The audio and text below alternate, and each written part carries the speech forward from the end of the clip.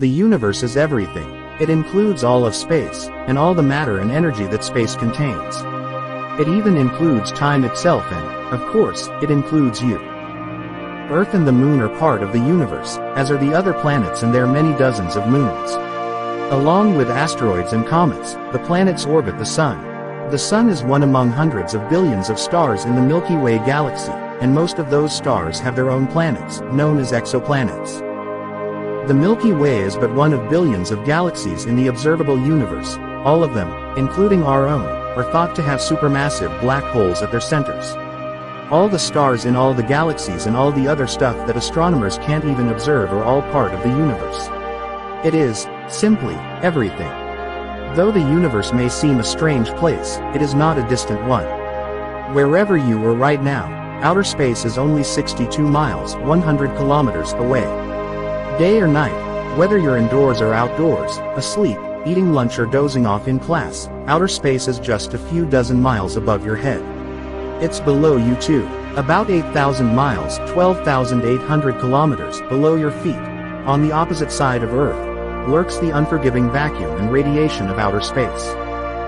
How did the universe begin? When you look up at the night sky, what do you see? If it's a clear night, you might see hundreds of thousands of tiny points of light, too numerous to count. Some are planets, some are stars, and some are even galaxies. In the 1920s in California, astronomer Edwin Hubble observed distant galaxies using an extremely powerful telescope. He made two mind-boggling discoveries.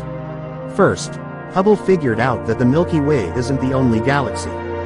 He realized that faint, cloud-like objects in the night sky are actually other galaxies far, far away. The Milky Way is just one of billions of galaxies. Second, Hubble discovered that the galaxies are constantly moving away from each other. In other words, the universe is expanding. The biggest thing that we know about is getting bigger all the time. A few years later, Belgian astronomer Georges Lemaitre used Hubble's amazing discoveries to suggest an answer to a big astronomy question. How did the universe begin? If the universe is always getting bigger, then long ago it was smaller. And long, long ago, it was much smaller. That means billions of years ago, everything in the universe was contained in a tiny ball that exploded. Wow. This breakthrough idea later became known as the Big Bang. The Big Bang was the moment 13.8 billion years ago when the universe began as a tiny, dense, fireball that exploded. Most astronomers use the Big Bang theory to explain how the universe began. But what caused this explosion in the first place is still a mystery. So, what has happened since the Big Bang? Since the Big Bang, the universe has been expanding. In the early years, everything was made of gas. This gas, mostly hydrogen and helium, expanded and cooled. Over billions of years, gravity caused gas and dust to form galaxies, stars, planets, and more. The matter that spread out from the Big Bang developed into everything in the universe, including you.